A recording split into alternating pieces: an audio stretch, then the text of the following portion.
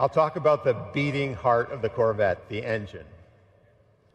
In a world quickly migrating to forced induction, small displacement engines, we are bucking the trend and continuing to advance the development of our famous small block V8.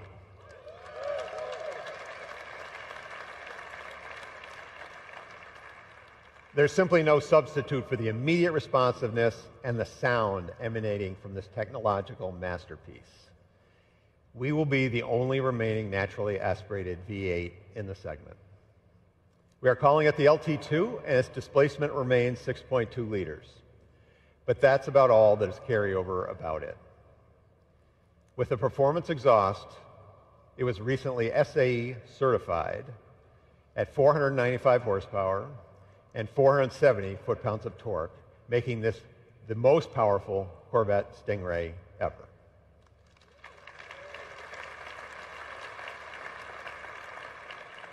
For the first time, the Stingray comes with a standard integrated engine-mounted dry sump lube system. The system has three separate scavenging pumps and a very compact reservoir mounted on the front of the engine. The low-profile oil pan reduces mass and lets us mount the whole engine lower in the chassis than we've ever done before. The oil cooler has even more capacity. The bottom line is this the new lube system has been absolutely bulletproof during our testing at tracks like VIR, the Nürburgring, and our own Milford Road Course. That engine is paired to our first eight-speed dual-clutch transmission, or DCT. This features a very innovative electronic transmission range selector, a masterpiece of engineering art and design that will become a benchmark for the industry. The DCT provides lightning-fast shifts and excellent power transfer. Simply put, the DCT shifts gears faster and better than any human can. It offers a spirited and connected feel of a manual and the premium driver driving comfort in an automatic. It truly feels like you're getting the best of both worlds. We've set the DCT up with a very low first gear to leverage our additional traction at the rear to get the car off the line very quickly. Gears two through six are closely spaced and keep the engine near the power peak on the track. Its tall seventh and eighth gears make for easy long distance cruising with low mechanical stress and excellent fuel economy. The LT2 engine and the DCT in combination with this new architecture make the new Stingray a very quick car. We are seeing 0 to 60 times under three seconds.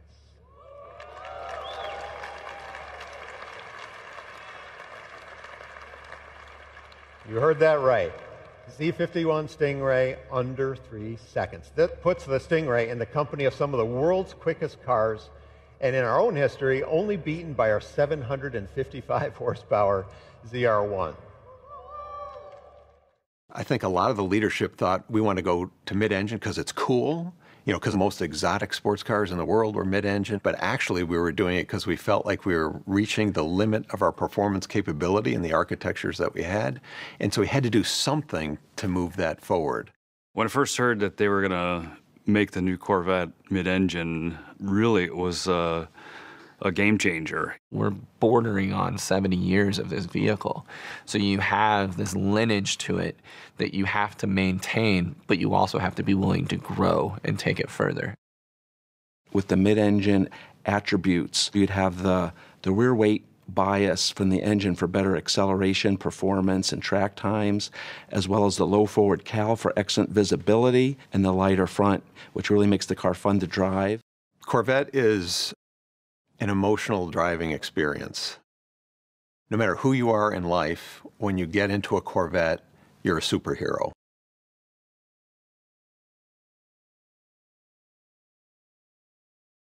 We needed a bespoke transmission, custom designed for this car, because we have engines that produce massive amounts of torque, so the DCTs that are on the shelf wouldn't stand the Corvette duty cycle is you've got a shaft that has your even forward gears, two, four, six, eight, and your odd gears, one, three, five, seven.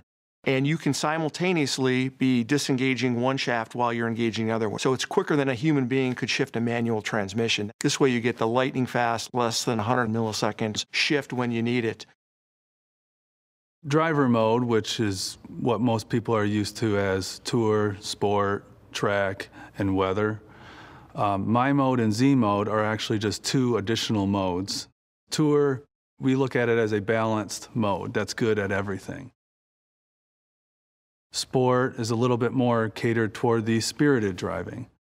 Track is all about the response and how the vehicle handles around maximum cornering, maximum acceleration, and maximum driver feel of the road. What my mode and Z mode will allow you to do is for the driver to configure it themselves.